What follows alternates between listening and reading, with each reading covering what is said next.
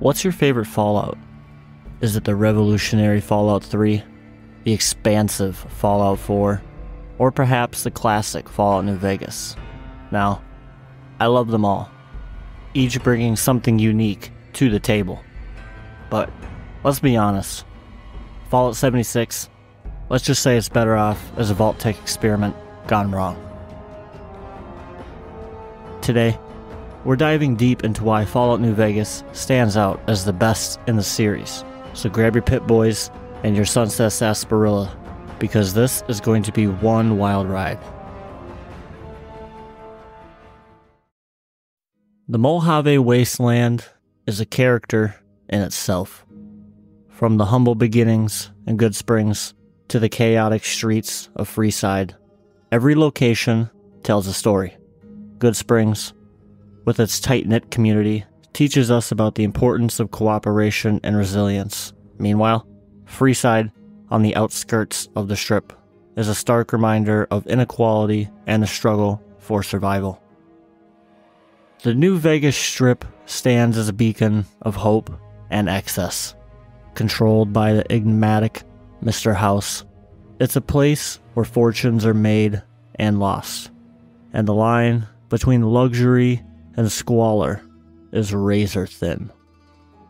The contrast between the glittering casinos and the harsh desert outside highlights the game's underlying commentary on societal disparity.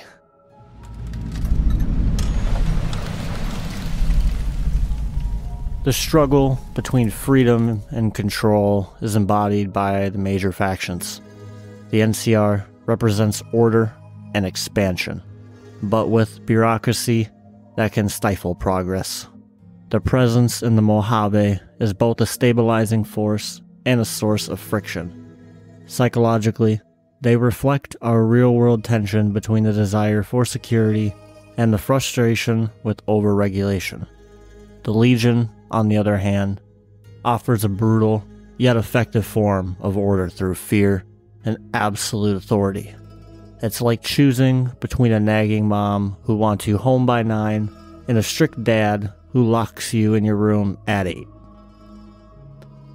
Then there's Mr. House, who seeks to maintain his grip over New Vegas through technological superiority and strategic alliances his obsession with control and vision for a utopian future highlight the human desire for immortality and legacy, showing the lengths one will go to secure their vision. You could say he's the ultimate micromanager who won't stop until he's automated your entire life. As the courier, your journey is one of discovery and influence. You navigate these power structures, make alliances, and ultimately decide the fate of the Mojave. Your choices reflect the ongoing tension between the desire for freedom and the need for control, challenging you to consider the broader implications of your actions and the psychological impact of wielding such power. Plus, who doesn't love the thrill of deciding whether to be the wasteland's hero or its biggest troublemaker? Also, I might have, uh, sort of plowed his daughter. A little. Thanks. But if Bishop finds me and I don't have his money, my balls are going to be on his trophy wall.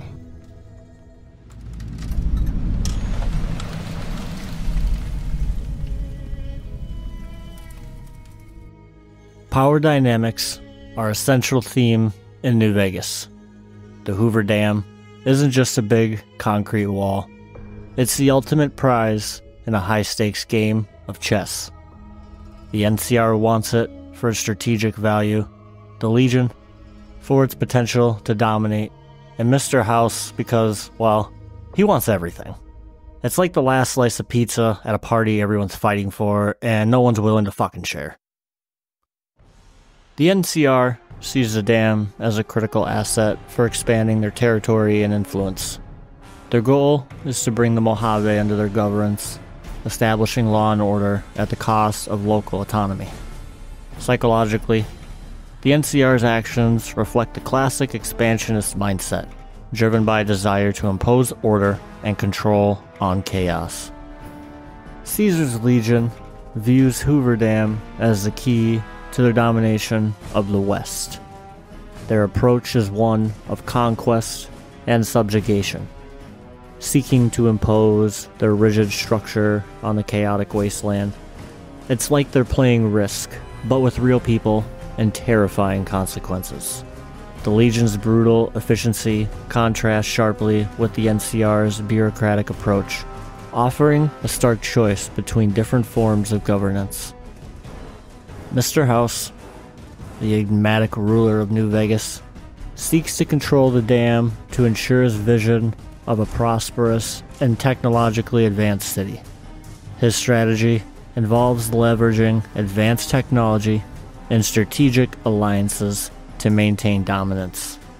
Imagine a tech billionaire trying to run for president, except Mr. House is a bit more ruthless and a lot less human. I spent two centuries searching for the platinum chip. It's my invention, my property, mine! Now be a good courier and deliver it! As the courier, your involvement in the Battle of Hoover Dam is crucial. Your choices can tip the balance of power, determining which faction will prevail. This battle is not just a physical confrontation, but a clash of ideologies, each representing different aspects of power and control. The outcome of this conflict shapes the future of the Mojave. Hi! Nice to see you again!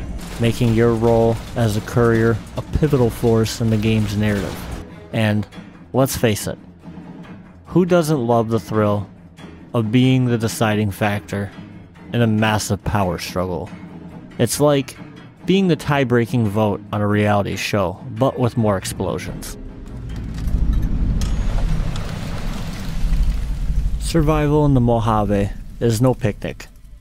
Every corner of New Vegas presents a new challenge, whether it's raiders, radiation, or just finding a decent meal. But it's also a nod to human resilience. Take the boomers, for example. They've turned an old Air Force base into a fortress, showcasing the power of determination and some serious firepower. I mean, who needs neighbors when you've got artillery? Goodsprings, for instance, is a small, tight knit community that relies on mutual aid and cooperation. The townsfolk band together to defend their home from threats, showcasing the power of community resilience. Novac, a settlement built around a repurposed motel, highlights the importance of resourcefulness. The iconic Dinky the dinosaur statue serves as a sniper's nest, providing both protection and a vantage point. The residents of Novac have turned their limited resources into strengths, demonstrating that survival often requires creative solutions. It's like turning a roadside motel into a fortress, complete with a giant dinosaur for added flair. HGTV would be proud. God damn it. Don't sneak up on me like that. What do you want? I think you better leave. I don't have friends here. No. No, you're not, are you? Maybe you shouldn't go. Not just yet. I need someone I can trust. You're a stranger. That's a start. I want you to find something out for me. I don't know if there's anything to find, but I need someone to try. My wife was taken from our home by Legion slavers one night while I was on watch. They knew when to come, what route to take, and they only took Carla. Someone set it up. I don't know who.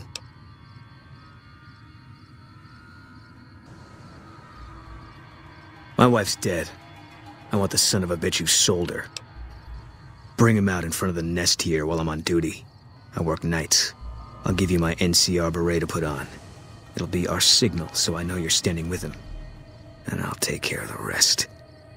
I need to do this myself. We haven't met yet. You must As long as we don't go out too far. Jeannie May would have a fit if she saw me out and about.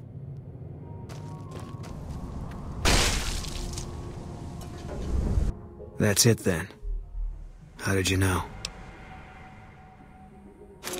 You sick bastard. You better be ready to join him. The Boomers, isolated at Nellis Air Force Base, have created a self sufficient community through their expertise in explosives and military tactics. Their isolationist approach ensures their safety, but also limits their interactions with the outside world. The Boomer story underscores the theme of self reliance and the trade offs involved in choosing isolation for security. It's like living off the grid, but with an Air Force ready to back you up. The followers of the apocalypse, based in Freeside, focus on providing medical aid and education to the wasteland's inhabitants. Their mission reflects the belief that knowledge and compassion are essential for long term survival.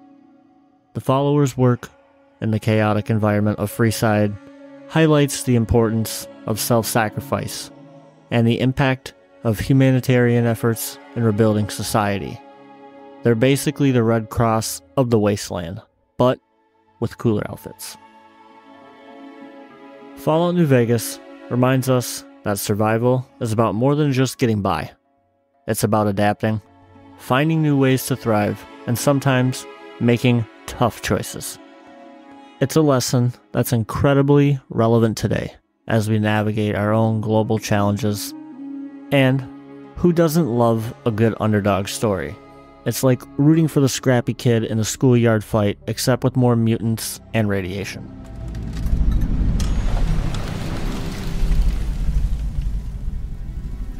New Vegas excels at presenting morally ambiguous situations that challenge our perceptions of right and wrong. Take the quest Beyond the Beef, where you uncover a dark secret within the Ultra-Luxe Casino.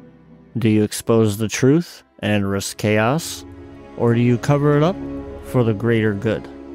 These dilemmas force you to weigh the consequences of your actions carefully. It's like deciding whether to tell your friend their haircut is terrible, except with cannibalism. Why are you standing still? Do you think the world waits for you while you stand there drooling? Get back out there and get to work. Who do... Who the fuck do you think I am? I'm the fucking god of New Vegas Brahmin fusion cuisine, that's who. No, no, that doesn't even give me the credit I deserve. I fucking invented edible food. Do you like eating? Good. You owe me your entire goddamn garbage existence.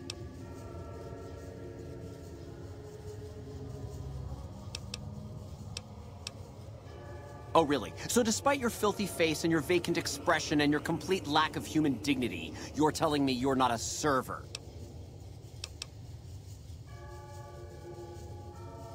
What, me? The supreme ruler of the Nevada dining scene? Teach some low-life half-wits how to make food that doesn't smell like burning excrement? Do you think it would sell? You're pushing your luck. Here, I have a few copies on me. This better be good enough. We're gonna have a real problem if this thing isn't a hit.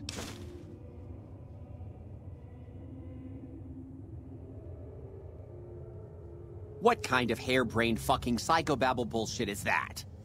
I yell at people because I like yelling at people, and because they fucking deserve it. Not because Mumsy and Daddykins didn't hug me enough. Oh, I see how it is. You think because my father walked out on us when I was five, now I have to yell at people. Or because my mother was a deranged chem fiend who regularly brought strange men home who told me to call them uncle.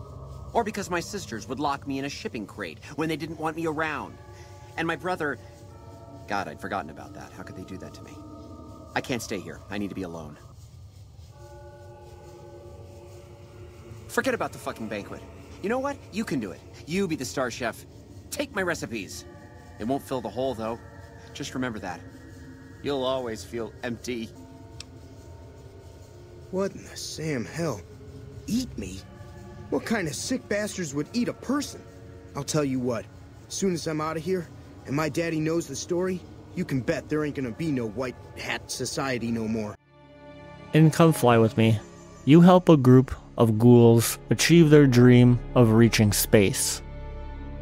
It's a quest that touches on themes of hope and redemption, but also raises questions about the ethics of sacrifice and the pursuit of dreams at any cost.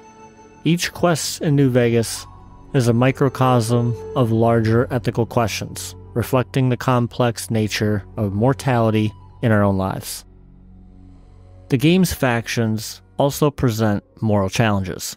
Supporting the NCR means endorsing a flawed system that can bring stability, but at the cost of individual freedoms. Siding with Caesar's Legion means embracing a brutal regime that offers order through fear. Even the decision to support Mr. House or go it alone as an independent courier presents a nuanced ethical landscape where there are no easy answers. It's like picking your favorite ice cream flavor when they're all laced with questionable ingredients. New Vegas forces us to confront these moral complexities head on, reminding us that life is rarely black and white. It encourages us to think critically about our values and the impact of our actions on others. And let's be honest, sometimes it's nice to play a game that makes you think as much as it entertains. After all, who doesn't love a bit of mental gymnastics with their post apocalyptic adventure?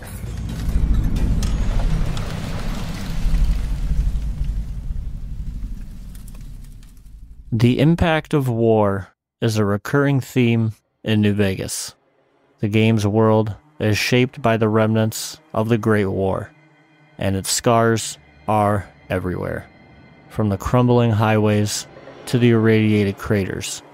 The aftermath of conflict is a constant presence, but amidst this destruction, there are signs of hope and rebuilding. Communities like Goodsprings and Novac have found ways to rebuild and thrive, turning the remnants of the old world into new opportunities. These stories of resilience and recovery are powerful reminders that even in the aftermath of catastrophe, life finds a way to continue. It's like turning a post apocalyptic lemon into a wasteland lemonade stand. The war's impact on individual characters is also profound. Many NPCs carry the psychological scars of the past, influencing their actions and decisions. Characters like Boone, who struggles with the loss of his wife, and Arcade Gannon, who grapples with his Enclave heritage, offer deep, personal narratives that reflect the broader themes of loss and redemption. It's like watching a soap opera, but with more guns and ghouls. New Vegas doesn't shy away from showing the brutal reality of war, but it also highlights the resilience of the human spirit. Even in the darkest times, people find ways to move forward and rebuild. It's a powerful reminder of the importance of hope, community, and the strength to overcome adversity. Because let's face it, if the folks in the Mojave can do it, we can handle a little bit of everyday drama.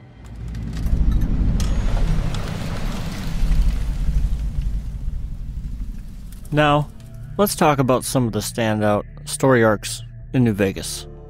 We've got the Battle of Hoover Dam, which is the game's climax and a turning point for the entire region. This epic confrontation brings together all of the game's major factions and forces you to make decisions that will shape the region's destiny. It's like the Super Bowl of the Mojave, but with more laser rifles and less halftime entertainment. The House Always Wins is another key quest line. Whether you work with or against Mr. House to secure his vision for New Vegas, this series of missions delves into the themes of technological control and legacy, making you question the cost of progress and the true meaning of a utopia. It's like partnering with a tech mogul who just won't take no for an answer. Robert Edwin House, President, CEO, and sole proprietor of the New Vegas Strip. I oversaw the city's renovations starting from 2274 onward. The three families are my employees. Before the Great War of 2077, I was the founder, president, and CEO of Robco Industries, a vast computer and robotics corporation. My Kind of Town takes you to the struggling settlement of Primm, where you decide the fate of the town's leadership. Should you help the NCR install a new sheriff?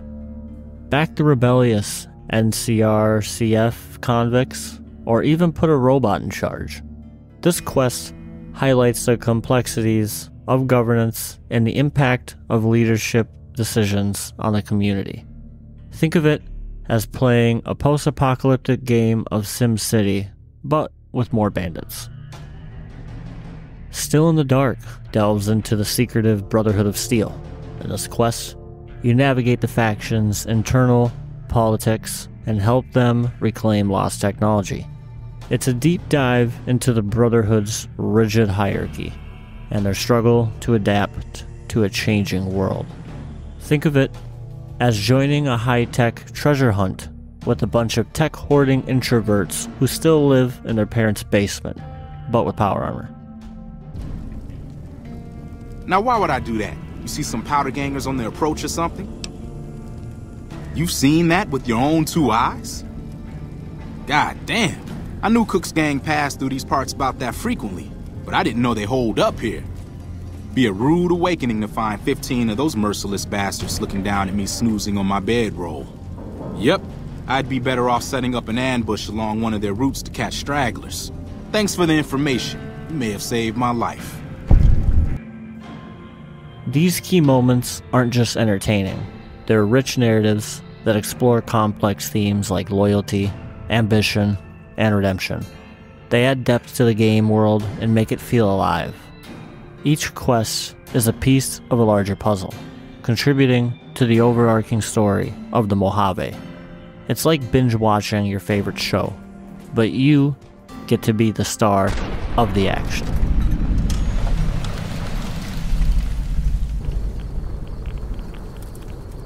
Fallout New Vegas is filled with memorable characters, each with their own stories and motivations. Let's start with the Courier, our protagonist. What's fascinating about the Courier is that they are a blank slate, allowing players to project their own values and decisions onto them. This flexibility makes the Courier's journey deeply personal and unique to each player reflecting their values and decisions. Mr. House is a visionary who seeks to transform New Vegas into a utopia through technological advancement. His intelligence and foresight are impressive, but his methods and obsessive control raise questions about the cost of progress and the ethics of absolute power. He embodies the theme of technological superiority versus human freedom. Caesar, the leader of the Legion, is a complex character driven by a mix of idealism and brutality. He believes that only through strict discipline and authoritarian rule can society be restored. His character challenges us to consider the price of order and whether the ends justify the means. Caesar's background as a former follower of the apocalypse adds depths to his motivations and ideals. Boone, a former NCR sniper, carries the weight of a tragic past. His quest for redemption and justice makes him one of the most compelling companions. Boone's personal story highlights the human cost of war and the struggle to find meaning and forgiveness in a shattered world. Arcade Gannon, a member of the followers of the apocalypse, grapples with his heritage as the son of an Enclave officer. His internal conflict and desire to help others make him a symbol of redemption and the possibility of change. Arcade's story reflects the broader theme of reconciling with the past while striving to build a better future. Then, then there's Benny, a smooth talking, checkered suit wearing snake who steals your platinum chip and leaves you for fucking dead. Honestly, dealing with Benny is like you're trying to negotiate with the used car salesman who also moonlights as a mobster. What in the goddamn? Let's keep this in the groove, hey? Smooth moves like smooth little babies.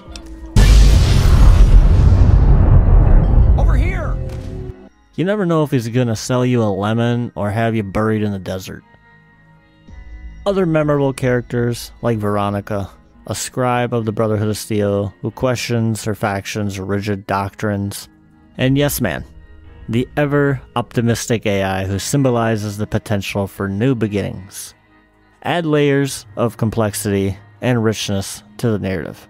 Each character in New Vegas is a piece of the larger puzzle, contributing to the game's depth and immersive storytelling.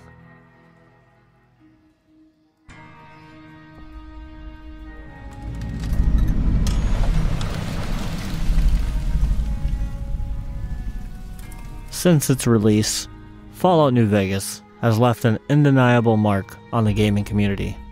Its rich narrative, complex characters, glitches, and moral depth have set a high standard for storytelling.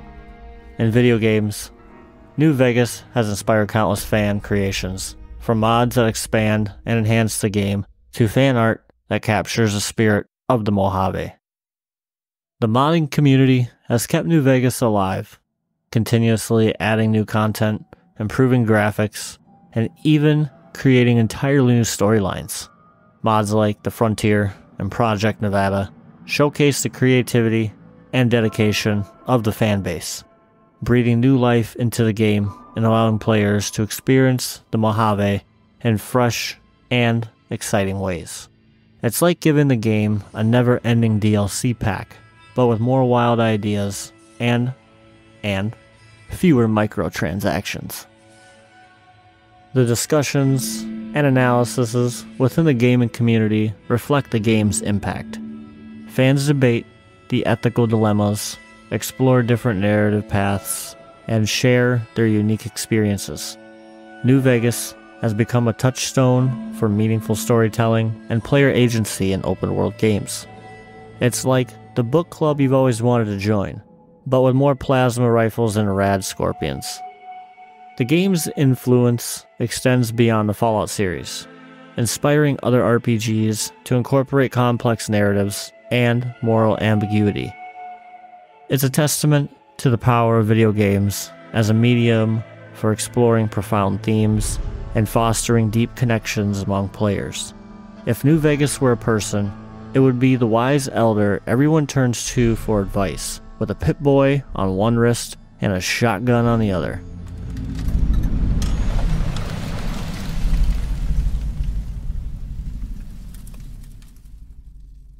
Now, a fun fact for you guys.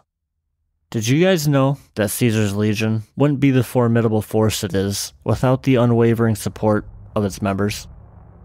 Caesar may have the vision, but it's the loyalty and dedication of his followers that build his empire.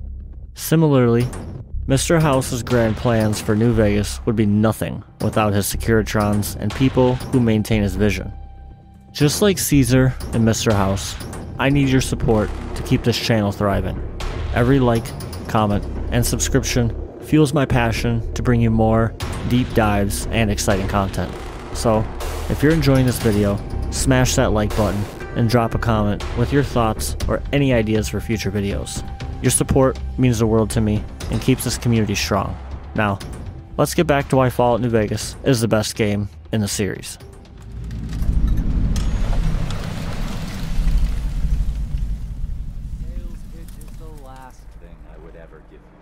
I'm not selling anything, neighbor. I'm giving away the secrets of long life, happiness, and prosperity. Giving them away. What do you say? Ready to take that first step into a new life? Now, let's have some fun and compare New Vegas with its siblings, Fallout 3 and Fallout 4. Because what's a family without a little friendly rivalry, right? In Fallout 3, you emerge from Vault 101 into a desolate DC, wasteland. Sure, you get to decide if you want to blow up Megaton or not, but let's be real. Your choices are more limited than a Nuka Cola vending machine after a raider party. Fallout 4 gives you the Commonwealth, and yeah, building settlements is definitely cool. It really is. I love it. It's great. But beyond that, your dialogue choices. They're like picking between yes, sarcastic yes, maybe yes, and no, but actually yes. New Vegas, on the other hand, lets you craft your own path with deep, meaningful choices. You can become a warlord, a peacekeeper, or just spend your fucking days gambling at the tops and messing with Benny. In New Vegas, you decide the fate of the Mojave. You. You want to ally with the Brotherhood of Steel? Go right ahead. Fancy teaming up with the Great Khans? Be my guest. Or maybe you just want to go solo and tell everyone else to go take a frickin' hike. The freedom and depth of your choices make you feel like you're writing your own story, not just following a script. It's like being the director of your own post apocalyptic soap opera, but with more dynamite and fewer commercials. And let's not forget the humor and quirks. Where else can you find a robot cowboy with an existential crisis or a ghoul who thinks he's a pre war movie star? Fallout 4's Preston Garvey might keep telling you about another settlement that needs your help, but in New Vegas, you're the one deciding who needs help. And who needs a plasma bolt to the face. So, while Fallout 3 and 4 have their merits, New Vegas stands out for its intricate storytelling, complex characters, and unparalleled freedom of choice. It's like comparing a fine vintage Sunset Sarsaparilla to a flat, lukewarm Nuka Cola. Both will quench your thirst, but only one will leave you craving more.